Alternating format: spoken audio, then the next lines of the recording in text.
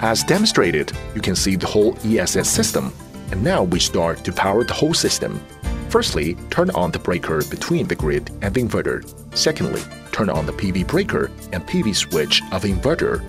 Finally, power on the battery system. After the system was powered on, if PV, grid, and battery are available, the system would work on normal mode. When the SPH is on the normal mode, the screen shows normal and LED is green. If SPH didn't enter normal mode successfully, especially if the LED is red, please contact the Growatt service department for help.